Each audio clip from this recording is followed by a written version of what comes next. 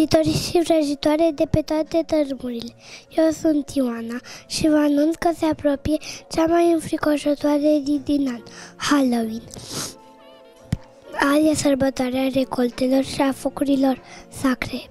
Tot de Halloween scultăm dovleți și transformăm în felinare înfricoșătoare, iar cei mai mici se costumează în fantome vrăjitoare și tot felul de mulți pentru a speria spiritele rele.